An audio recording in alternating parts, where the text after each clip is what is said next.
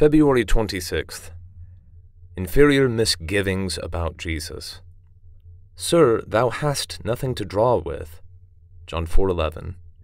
I am impressed with the wonder of what God says, but he cannot expect me to really live it out in the details of my life.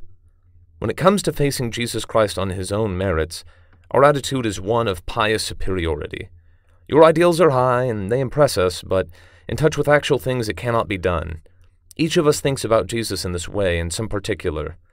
These misgivings about Jesus start from the amused questions put to us when we talk of our transactions with God.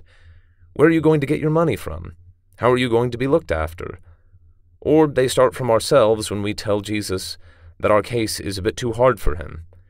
It is all very well to say, Trust in the Lord, but a man must live, and Jesus has nothing to draw with, nothing whereby to give us these things. Beware of the pious fraud in you which says, I have no misgivings about Jesus, only about myself. None of us ever had misgivings about ourselves. We know exactly what we cannot do. But we do have misgivings about Jesus. We are rather hurt at the idea that he can do what he, we cannot. My misgivings arise from the fact that I ransack my own person to find out how he will be able to do it. My questions spring from the depths of my own inferiority.